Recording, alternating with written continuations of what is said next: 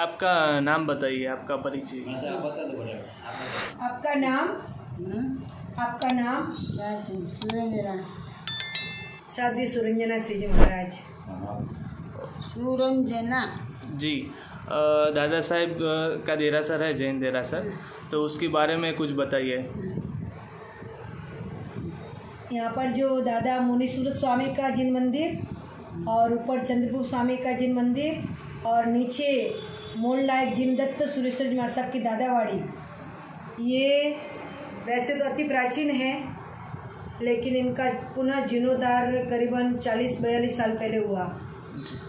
पूज्य मनोहर सिंह जी महाराज साहब जो जयपुर विराज रहे थे और उनकी गुरुदेव ने उनको पादरा चातुर्मास के लिए कहा।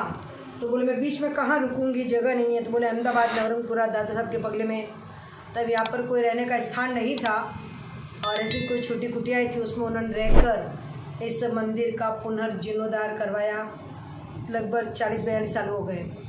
जब से इस मंदिर की प्रतिष्ठा हुई है, दादा गुरुदेव विराजमान हुए हैं, इसके बाद इस दादावाड़ी की इतनी प्रभावकता बढ़ गई है कि पूरे भारत भर में इस दादा साहब के पगले के नाम से प्रसिद्ध है। यहाँ पर प्रति सोमवार के दिन करीबन पंद्रह बीस हज़ार लोग रात को दो बजे तक दर्शन करने के लिए आते हैं। आस्था, पूर्ण विश्वास और श्रद्धा। जैन से भी जैनेतर लोग बहुत ज़्यादा आते हैं। श्रीफल चढ़ाते हैं, मनोकामना पूरी होती है तो थाली भर के पेड़ भी चढ़ाते हैं और चांदी के आइटम जैसे पालना है, नारियल है और भी ऐसे कई चीज़ें वो अपनी श्रद्धा से चढ़ाते हैं। विशेषता यह है कि यहाँ पर इतने हज़ारों की संख्या में लोग होने के बाद में किसी प्रकार की कोई आवाज़ नहीं होती। कोई लोग आपस में वार्तालाप नहीं करते जहाँ मेला का माहौल होता है तो वह कितनी भीड़ वगैरह होती है। लेकिन यहाँ पर परम शांति और जो आता है इतना प्रसन्न चित्त आनंदित होके जाता है। ये दादा की एक बहुत बड़ी प्रभावता है बहुत बड़ी महत्ता है कि इतने लोग दादा से आकर्षित हैं। सोमवार का इतना क्यों महत्व होता है? सोमवार को वैसे वर्षों पहले 700 करीबन साल पहले देहरादून में हमारे प्रकट प्रभावी जिन कुशल सुजमार साहब का देवलोक हो चुका था और उनका भक्त मालपुरम विराजता था तो उनने इसलिए कहा था, गुरुदेव, आपका कुछ भी हो तो मुझे पता चलना चाहिए। और गुरुदेव, अमावस, फागुन बदी अमावस के दिन देवलोक हो जाते हैं और भक्त को पता चलता है कि मेरे गुरुदेव देवलोक हो गए तो पहाड़ों में जाके बहुत रोता है। तब गुरुदेव उसको पहाड़ों में आके चमत्कार के मतलब दर्शन देते हैं। तो वो दिन होता है सोमवती पूनम, इसीलिए सोमवार और पूनम का बहुत बड़ा महत्व है, क्योंकि गुरुदेव ने प्रकट दर्शन दिए थे और वो दर्शन जिस जगह पर दिए थे, वो मालपुरा स्थान है। और वहाँ पर भी जिस पहाड़ पे खड़े थे, वहाँ पर गुरुदेव की चरण अंकित हो चुके थे। उसको आज ही वही पूजा जा रहा है। उसको चेंज नहीं कर सके, उसको बदल नहीं सके, मकराना नहीं लगा सके, वो भी आज भी चमत्कारिक रूप में लाखों लोग वहाँ भी दर्शन करने जाते हैं। जो देरासर है मुनि स्वामी भगवान का। तो उसको दादा साहेब का पगला क्यों कहते हैं?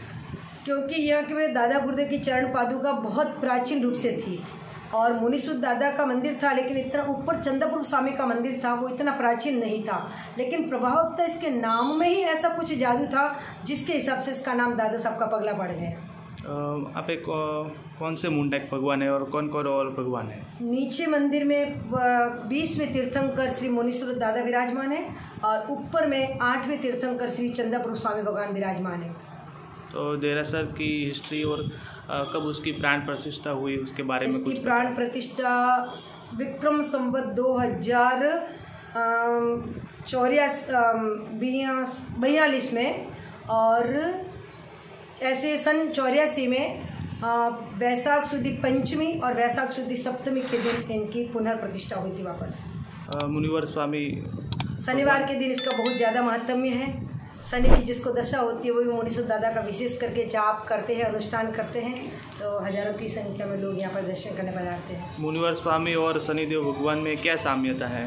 साम्यता राशि के हिसाब से और ग्रह के हिसाब से उनका अनुमानित तीर्थंकर उनके प्रभावशाली होते हैं। कहते हैं कि शनि के स्वामी वो। अच्छा कहते हैं कि शनिदेव भगवान मुनिवर स्वामी के शिष्य थे। तो उस हिसाब से क्या कहेंगे आप? वो भगवान की प्रभावकता से प्रभावित होकर शिष्य बने थे और वो उनके ग्रह दशा मिटाने के लिए उनका पूरा सहयोग करते इसलिए वो शनि से मुनीश्वर दादा का विशेष संबंध रहता है। साधु जी के जीवन की पूरे दिन की दिनचर्या क्या हो रहती है? हमारी दिनचर्या तो वैसे ज्ञान, ध्यान, स्वाध्याय तप, त्याग, प्रवचन में रहती है। वैसे लगभग जैसे हमारे महाराज जी वो रात को एक बजे उठ जाते हैं। हम लोग तो इतने नहीं उठ पाते, हम तो तीन बजे, चार बजे उठते लेकिन ये रात को एक बजे उठ जाते हैं, परमात्मा के जाप में, ध्यान में बैठ जाते हैं और उनको जब भी स्वास्थ्य में अस्वस्थता लगती है तो ये सीधे अपने परमात्मा से प्रीति जोड़ते हैं, दवाई डॉक्टर से प्रीति नहीं जोड़ते हैं। और फिर उठने के बाद हमारे रात्रि भर में जो भी हमें सूक्ष्म दृष्टि से कोई पाप लगे हो लग तो उसका हम प्रतिक्रमण करते हैं और चौबीस भगवान के दर्शन की स्तुति करते हैं, स्तमन वगैरह करते हैं उसके बाद में हमारी सामूहिक क्रिया होती है, जो हमें हर तरह के आदेश के हम पूरे दिन में ये कर सके, वो कर सके सज्जा होती है।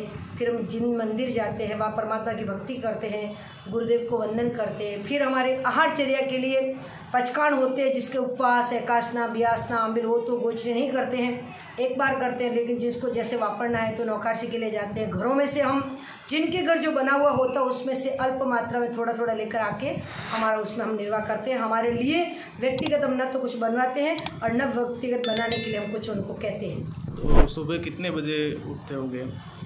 हम लोग? हाँ। हम लोग महाराज जी तो जैसे एक बजे उठ जाते हैं हम लोग तीन साढ़े तीन बजे उठ जाते हैं। फिर उसके बाद तीन बजे के बाद पहले हम ध्यान करते हैं चिंतन करते हैं ये मनुष्य जीवन कैसे मिला ये जीवन कैसे मिला परमात्मा की इतनी कृपा कैसे हुई ये सब चिंतन करते हैं कि निश्चित रूप में धर्म किया होगा पुण्य किया होगा जीवों के प्रति दया करुणा की होगी तभी इतना अच्छा मनुष्य जीवन मिला है और ये जीवन मिला है। फिर हम प्रतिक्रमण करते हैं फिर नवकार मंत्र का झाप करते हैं।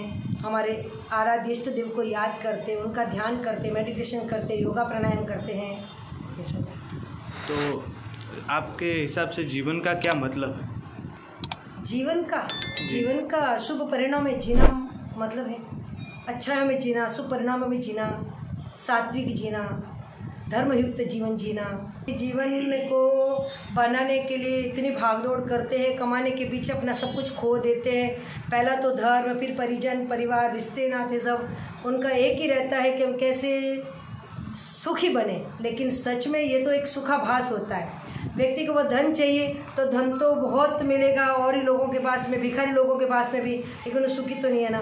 लोग कहेंगे कि सुविधाओं से तो सुविधाओं को पूरा घर से भर लो पर आदमी सुखी तो नहीं होता उसको बीमारी घेर लेती है। बीमारी घेर लेते तो हॉस्पिटल में एडमिट हो जाता है तो दवाइयों से भी वो सुखी तो होता नहीं है। तो सुखी होने का तो ये है कि आत्मचिंतन और जीवन जीने की कला और संतोष जीवन में होना चाहिए। जितना मिला मुझे वह मेरे लिए पर्याप्त है। मुझे जीवन जीने के लिए मुझे दौड़ भाग करके धन कमाना, ये मेरे जीवन का आनंद और खुशी नहीं है। जी, धन्यवाद।